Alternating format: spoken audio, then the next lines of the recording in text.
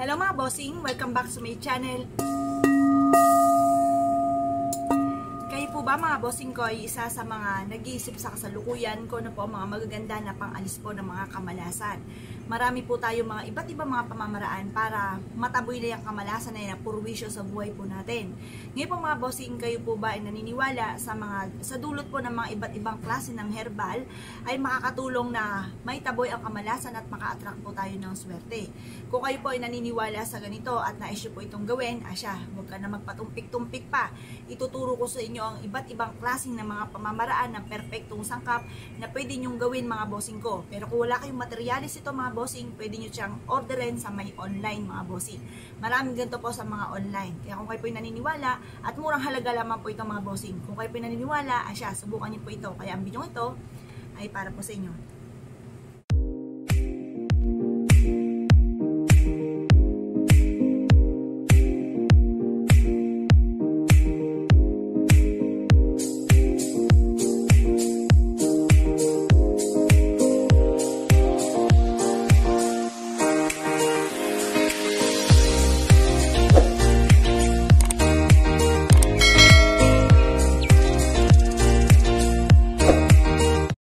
Marami po tayo mga bossing ko ng mga iba't ibang mga pamamaraan para po tayo swertein sa ating buhay.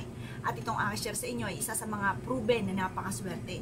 Kailangan lamang po natin mga bossing ko ang mga sumusunod. Kung wala ka nito, mura lang po ito sa online. Bumili po kayo mga bossing. Ito po mga bossing ko ay yung ating peppermint. Ayan, ito po yung peppermint natin. Sa online, marami po nito mga bossing. Ganon din po mga bossing ko, itong ating rosemary. Ayan, ito yung ating rosemary.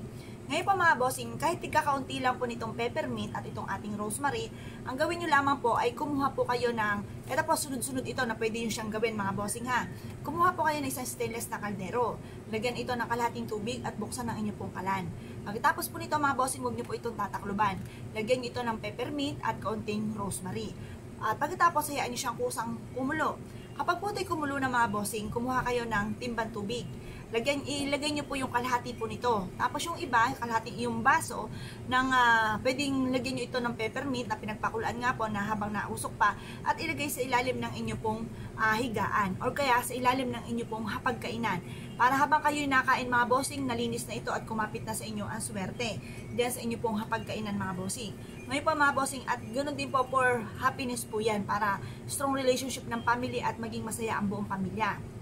Ngayon pa mga bossing, bukod po dyan, pwede kang kumuha ng kalahating timbang tubig at ibuhos yung kalahati po na pinagpakuluan at pwede nyo po itong ipanlinis ng inyo pong sahig. Mula main door, papasok na inyong tahanan, maging mga hagdanan at kwarto at CR.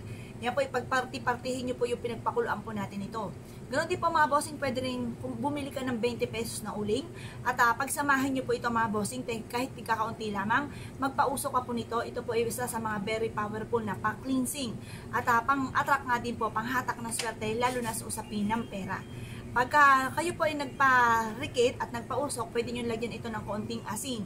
Or kaya yung ilalagay nyo sa inyong lamesa o sa ilalim ng inyong pong higaan, pwede nyo rin lagyan ng konting asin. Huwag nyo lang po lalagyan ng asin yung ipanlilinis po natin mga bossing. Ito po yung mga ilan sa mga pamamaraan upang tayo po ay maka-attract ng swerte at maitaboy ang mga kamalasan na maaaring nararanasan natin ngayon or kaya yung paparating pa lamang ay makontra na po nito para meron tayong mabisang proteksyon. Kung kayo po naniniwala sa mga gatong mga pamamaraan, sa perpektong sangkap ng ating rosemary at ang ating peppermint, makakatulong po ito upang sa ganon magtagumpay po tayo sa buhay. Kaya kung kayo po naniniwala, lumarga po kayo mga bossing at subukan niyo po ito. Yun lang po mga bossing. Salamat po.